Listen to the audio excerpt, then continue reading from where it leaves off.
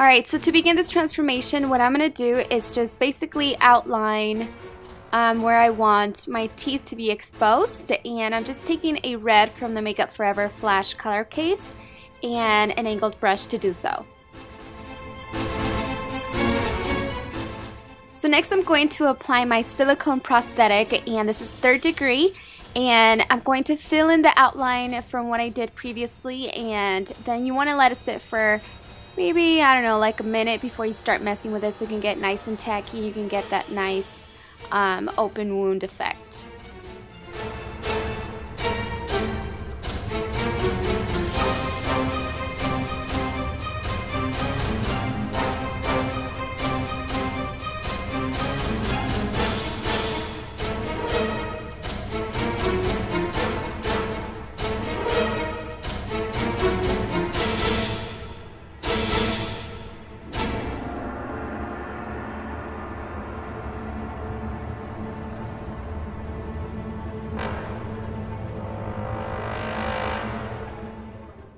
So next, the little girl also had a gash on her forehead, like a small little cut. And that's what I'm doing here on my forehead. The cuts and the open wounds don't necessarily look exactly, but it's nice to feel inspired.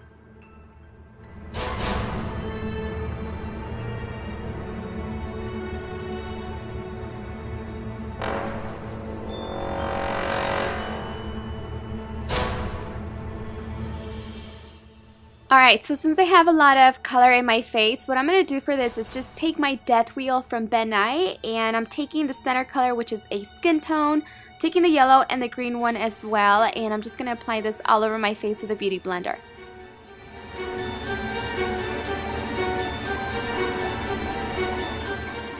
I'm also going to go back with the yellow and stipple it onto the prosthetic.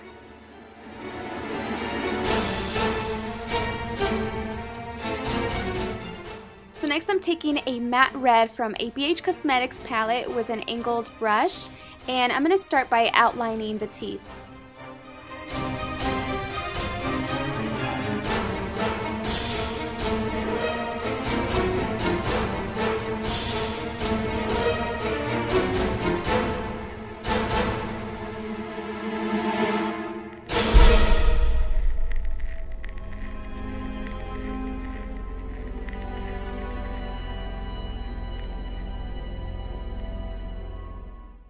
So next I'm going to take the deepest red from the zombie wheel and this one is also from Ben Nye and with the same angled brush I'm just going to trace my teeth one more time.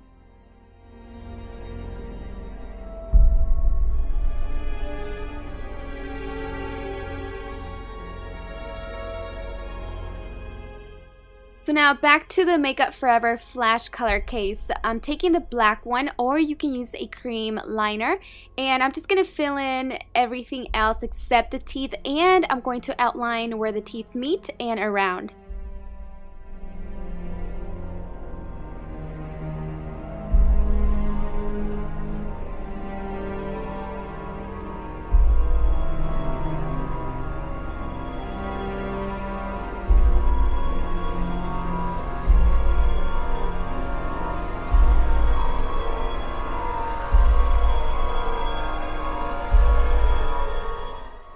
So now what I'm also doing is just filling in where the skin is showing just right underneath and this is going to be the base for the dark red that we're going to apply next.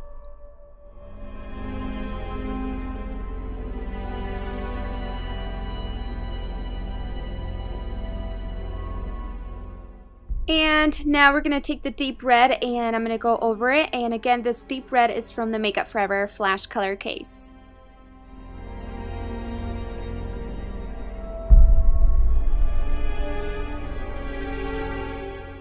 So next I'm carefully filling in my teeth with a white and this is again from the same case. And um, I'm just really carefully gonna make sure not to go over the black but if you do you can always take the black and go over wherever you went over with the white. So it's I mean it doesn't have to be perfect but just try to make it look as real as possible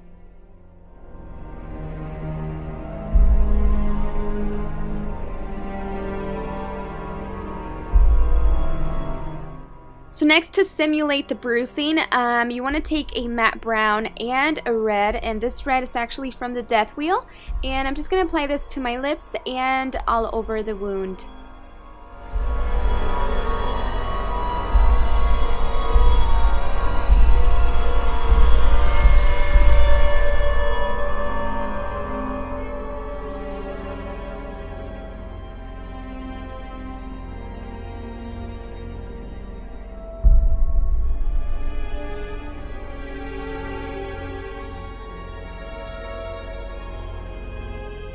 So now back to the red from the death wheel. This is going to simulate um, just tired, sick eyes. And I'm just going to take this on the bottom of my eyes and all over my eyelid on both eyes.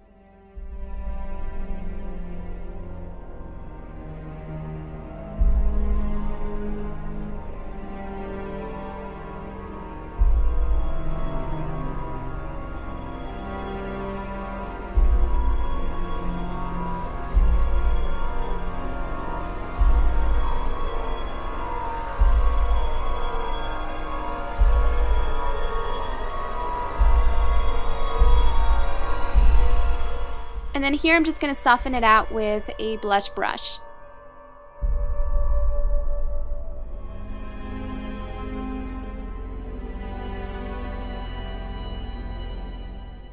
Now the little girl didn't have black on her eyelids, but I felt like for me that would look a lot better. So I'm just taking a matte black and I'm to apply that to just the top of my eyelids.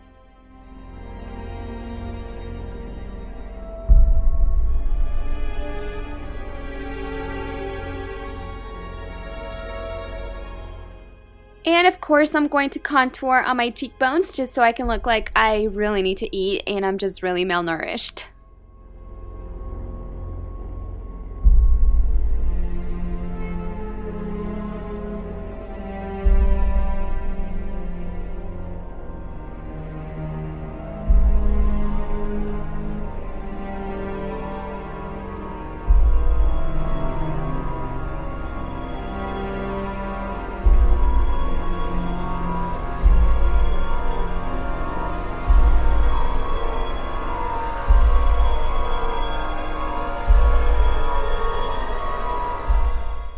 Alright, so now to make this even more realistic, I'm just taking Kryolan's uh, Fresh Scratch and I'm just going to take a spatula and fill in the wound.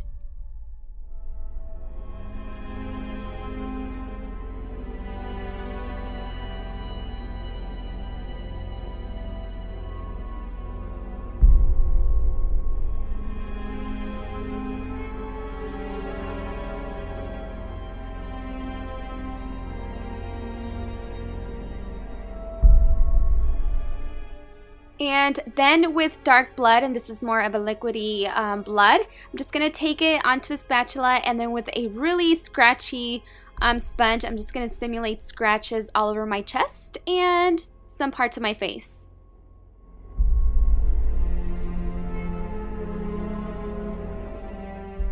Alright, so I'm just going to take this soft bluish gray and just contour lightly around my nose.